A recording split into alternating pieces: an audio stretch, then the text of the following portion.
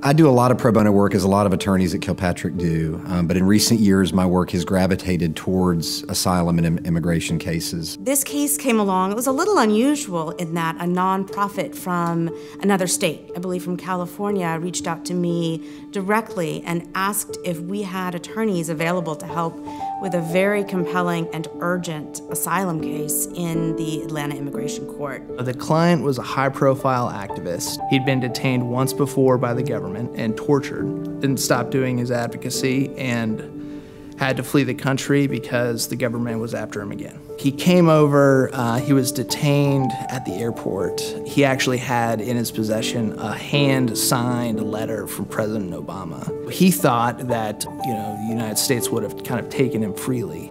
Um, you find clients often in situations where they have no resources at all. They have no one to lean on for help, and they're really, they don't know where else to go for help. I immediately reached out to GAIN because the individual was housed at the Atlanta City Detention Center. He kept hearing from the inmates that the Atlanta Immigration Court is not where you want to be.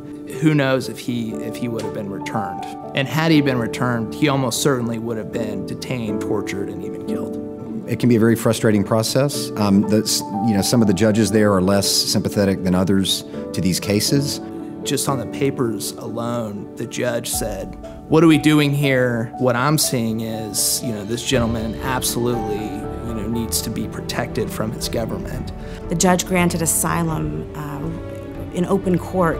The client was just overjoyed. He immediately hugged me and kissed me. You know, he could not have been more grateful.